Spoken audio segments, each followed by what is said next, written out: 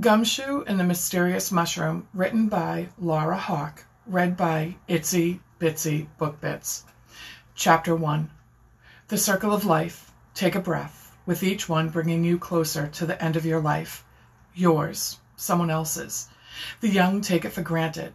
Life, that is. Death is the furthest thing from their minds.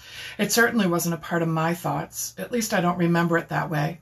Memories are mostly a void, a blackness in my mind, but I get the distinct impression of certain aspects. I feel my life was just beginning.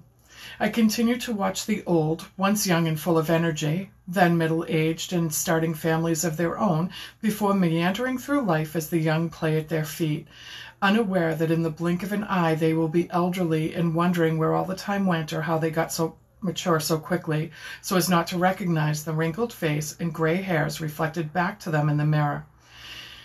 I know my appearance is nothing like I remember, the youthful handsomeness no longer staring back at me. I remember I found a beautiful dame who still makes me smile at the thought of her, mm-hmm. even if I can't remember her name. I married her, and she gave me a beautiful little girl. Who thought of the circle of life then? Of death? Of the ages that have long passed and will continue to do so for all eternity. I certainly hadn't. Not then. The world was too perfect. A job I loved, a beginning family, nothing could be better. He lifted his head up, the colorful sky beautiful, with blue, orange, red swirling among big, soft, white, cotton ball looking clouds passing by serenely without a care in the world. Some of the billowy puffs made recognizable shapes before they slid into unrecognizable blobs as they moved across the sky. Couples walked hand in hand along the shore of the lake or sat cuddled together. Children ran around their parents or ahead of their grandparents, while the latter meandered around the paved pathway, enjoying, enjoying the antics of the young. People walked their dogs, teenagers rollerbladed or used hoverboards to glide past those who were in no hurry to get anywhere. The scene was serene, tranquil, but for him sad. He thought the world was his oyster, his life just blossoming into a wonderful adventure with so much to experience and look forward to. What little he could remember of his life was experiencing a lot of death mostly as a result of a war. It was war, after all. But he returned home, safe and whole. The woman he loved had waited for him, and once he was back home in Illinois, he knew he couldn't let another day go by without making her his forever. Yet forever didn't last as long as he thought it would. He focused his eyes on the young couple pushing a stroller while holding hands. His heart tightened in his chest. He missed his wife and the adorable curly blonde haired baby girl that was the result of the love they had for each other. The sense of self rode through him. Surely, as he was now, he shouldn't be having these memories. We shouldn't be facing the black hole of despair over what memories he'd lost. Everything was just beyond his grasp. Nothing tangible, nothing real. Occasional wisps of his life, as it once was, flickered into being and just as quickly disappeared, slipping through his fingers into oblivion. How cruel life could be, ever changing, ever fluid. Time really didn't stand still, and time really didn't heal. It just allowed pain to become more bearable, but not always. There were still moments like these that caused him to cringe, and the painful losses caused him to forget how to even breathe as his chest would tighten so much it was a physical ache that, after time, was still unbearable. It brought his current situation to prominent realization even more forcefully once again of how much things had been altered in his very existence. Inwardly he sighed. He missed his family terribly, and, despite how little he remembered, he knew the heartache of their loss would never truly subside. Lifting his head, he turned back to the sunset and the colorful horizon. The circle of life blossomed all around him and increased his melancholy. He hated it, detested the circumstances that brought him here today. He longed to know what happened to his family. Had they started anew after his human death? Had they forgotten him entirely? He wished he could remember more. Their names, the sounds of their voices, anything. However, it would also be nice if he remembered his own name and how he got here like this. Nothing made sense to him. Nothing seemed real. He watched the setting sun, his furry tail twitching behind him. Chapter 1 Adam Thomas, tall, distinguished, his dark brown hair and sharp blue eyes missed nothing as he moved around the bustling kitchen. It was like watching an ice dancer move so fluidly. A twirl here, a spin there, taste of a pot from this area, another from that. A few instructions to his prep staff as he pivoted about the floor. To the untrained eye, it might be mind boggling with all the work going on simultaneously and yet so fluidly and effortlessly. The team of workers meshed as if one machine, each knowing what needed to be done. Adam's chef jacket was splashed with various sauces and liquids, the only indication he was bustling about so quickly, pulling one pan out, checking on another, finger testing a third, then wiping his hands on his black jacket. He wore the black for prep, gray for the front of the house, and white later in the evening when it was starting to slow down. At least that's how it was at the other restaurant he worked at before the forbidden fruit, and he hadn't planned on changing his routine. The difference was, Adam wasn't just the head chef at the Forbidden Fruit, he was also the owner, along with his wife, Evelyn. Evelyn had a degree in business management. It was how the two of them met 19 years ago in college. Evelyn was the quiet, leggy blonde with brown eyes who attended the school's culinary night. The chef students were also the servers, and Adam waited on her. When the meal was over, they sat and talked until the custodians turned out the lights. He walked her back to her dorm that night, and they've been together ever since. She supported him when he transferred to the Culinary Institute of America. He supported her when she decided to go for her master's degree in business, minoring in accounting. After a couple of years of dating, they married, and a year later Evelyn gave birth to their daughter Amelia, Mia for short. It was Mia who actually named the new venture. Many called her Mom Eve for short, and Mia always teased them that she was their forbidden fruit. Adam thought it was a perfect name for his new restaurant. Mia took after Adam in his love of cooking. Unlike her mother, Mia didn't really have a head for numbers, though she enjoyed some of the other aspects like inventory and going through the applicants to hire. Regardless of all the business end Mia might have liked, her passion was in the kitchen cooking. She started alongside Adam at the age of three, learning how to cook. By age five, Mia had tested items of her own and was creating full course meals. Adam helped to hone her skills, and they both exchanged and encouraged her in her passion to cook and bake.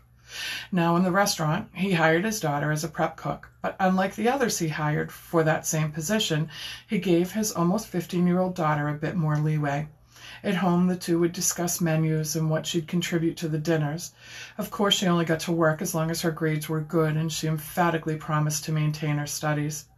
Tonight was the opening night of the Forbidden Fruit, and although she had school, Mia was allowed to miss this one Friday in order to get everything ready for service. Mia proudly planned one full course a five mushroom soup, a cranberry orange arugula salad, pan-seared duck breast with blood orange glaze, citrus and bacon roasted Brussels sprouts, twice baked sweet potatoes with caramelized pecans, and a chocolate creme brulee for dessert. There was a lot to do, but Adam knew his daughter could handle it. As head chef, Adam tasted every dish, for it had to be perfect, tonight more than any other. Evelyn was working on the front of the house, dealing with the servers, the linens, and the final touches of decor.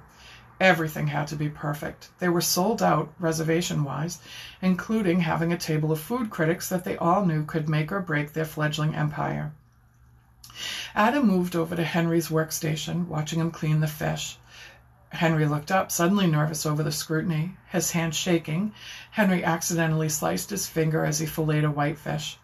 Adam grumbled, moving to the first aid kit. You're the third person tonight to cut themselves. Seems to be an epidemic of nerves, and I'm the one with the opening night.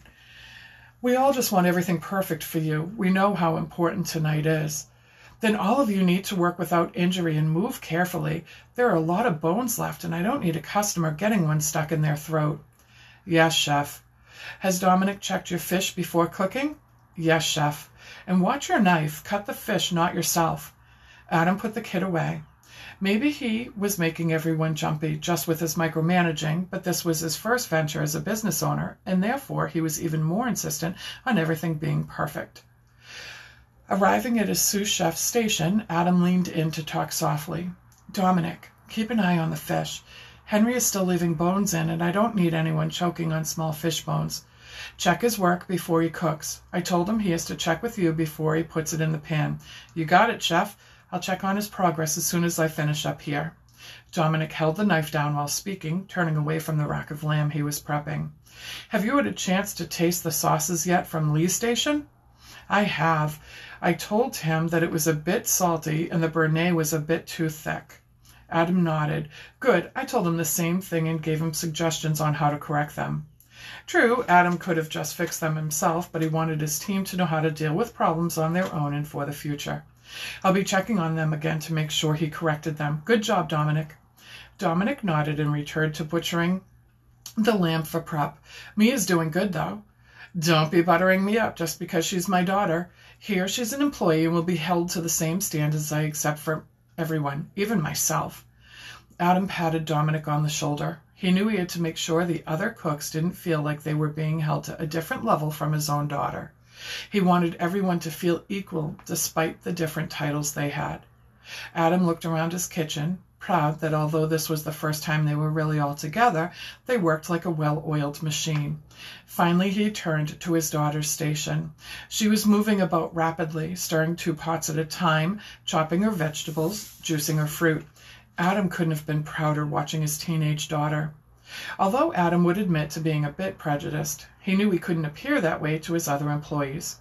With a purposeful stride, he walked over to Mia's station, clean spoon in hand to test the sauces and dressings she was making. He breathed in the scent of the sauce, then tasted. New spoon and repeated the procedure with the soup. Watched as she prepped the duck breast, slicing the skin for a better and crispier cook. She was still chopping the mushrooms, and the blood oranges were being juiced for the duck sauce.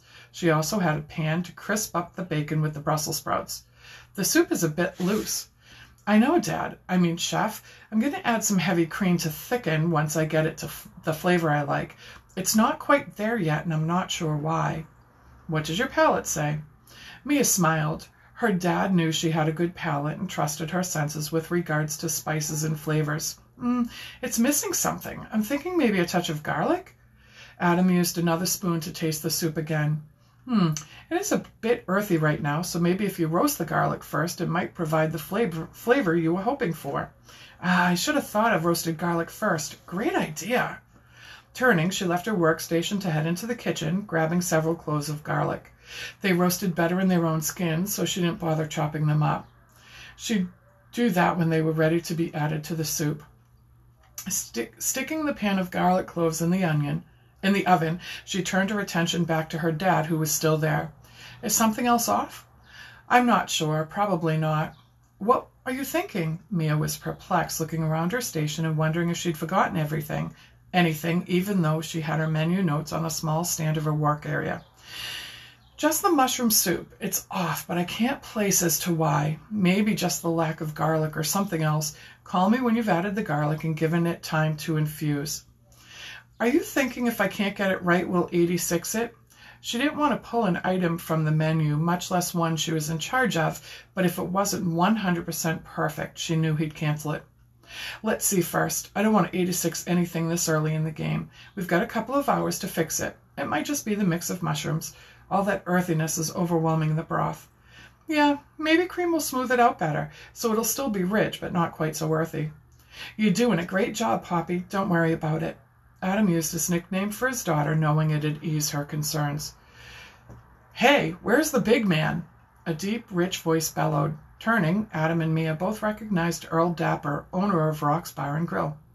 Adam smiled as he walked over to shake Earl's hand. What are you doing here? Came to wish you a successful opening night. Still hate losing you as my head chef and taking Dominic with you, but the restaurant looks good. Thanks, Earl. I heard you moved Jeremy up to head chef. He did well under me. I know he'll do a great job for you, too. He ain't got your presence. I think he thinks he's still on the line and forgets to call out the orders. He'll grow into it. I know he will. And his food is good. He will. So are you ready for tonight? Almost. A few more things to prep and then ready to have the guests come in. Nervous? Earl looked around the kitchen with the eye of a long-time restaurateur. Not really. More excited and anxious than nervous. You've worked for someone else for quite a number of years. Running your own place is much different. I know, but I like having more control over my menus, and Eve is great for the books and management, so I can still focus on what I love. Well, I'll be back tonight. I just wanted to wish you good luck and get a glimpse of the place before you got too hectic. Thanks for stopping by. He shook hands with Earl again, walking him towards the back door. When the door opened, Mia saw a beautiful Siamese cat peering in. Like her mom, Mia loved animals, and she worried this one was probably hungry and looking for food. Scooping up a bit of her duck scraps, she seared them quickly, then headed out to feed the poor little thing. She didn't see the feline at first, but called to him to see if he was nearby. He might have smelled the food or heard her, but she but soon he peeked his head out from behind the dumpster. She had the scraps of duck on a small plate. It's okay, little guy. We'll have lots of food for you. This is just for starts. She set the plate down and stepped back. Hmm, no collar, she mused. Hope the animal catcher doesn't get you. She re entered the business and got back to work after she washed her hands. Chapter 3 The restaurant was hopping. So many came they quickly turned over tables three and four times before the night settled down. Adam and Eve were ecstatic. Things were going well, and if it stayed like this, they were going to have a success on their hands. People had always liked Adam's food. They would frequently find out where he was or what nights he was working just to have him as their chef. They knew no matter what they ordered, it'd be prepared perfectly. Adam was a stickler for not letting anything leave his kitchen unless he okayed it. He had a reputation for getting clean plates and having very few returned with any issues. His opening night was no disappointment. Halfway through service, Mia had to 86 the mushroom soup. Not because she hasn't, hadn't fixed the issue from earlier, but because they ran out. They ran out of a lot of things throughout the service, not anticipating that people would order two of three of everything early on. By the end of the night, they had very little left, and the entire staff was exhausted. Mia took out a couple of bags of garbage from her station and those nearby. She noticed the duck scraps were gone, so brought the plate back in. On another trip, she noticed the Siamese was still nearby, so brought out some of the fish scraps, checking quickly to make sure there were no bones. Leaving the plate out again, she returned to cleaning up. She couldn't remember being so tired. She'd had a few opportunities to go into the restaurant itself, whether it was Eve or Adam who wanted to show her off, or for people who just wanted to meet the person who made one of her menu items. She recognized many who visited Mr. and Mrs. Hennessy, whose cow was infamously being tipped over, Mr. and Mrs. Antonio, her history teacher and her husband, the Chase family, of which she was friends with their son Caleb, police detective and family friend of the family Phil Hardy, police chief Decker and his family, the Summer family, whose roots went as far back as the founder of the town, James Summer, the Summer statue in the town's Square was infamous for being vandalized yearly in a pink tutu and red paint for lipstick and rouge when the school season was over. It happens like clockwork. But the only city officials seemed to mind, and then mostly because of the money it cost to clean it up. In a small town such as the Midlands, it was easy to know most everyone, and as such, hard to keep any secrets. Yet Mia couldn't think of any place she'd rather be. She loved the town and its strange, sometimes oddball people. The Midlands was the perfect place. It had its own lake, Lake Henderson, perfect for boating, fishing, and swimming. It was close enough to the bigger towns of Plainville and only 45 minutes to Bloomington, Normal, which was probably where she'd go to college when the time was right. Before she knew it, the last customer was leaving and she could finally collapse. Mia checked on the plate she'd left for the cat. Seeing it empty once again, she brought the plate in and added it to the dishwasher's pile. Her station cleaned, she took the last of the trash out and was about to meet her mom to head home when the phone rang.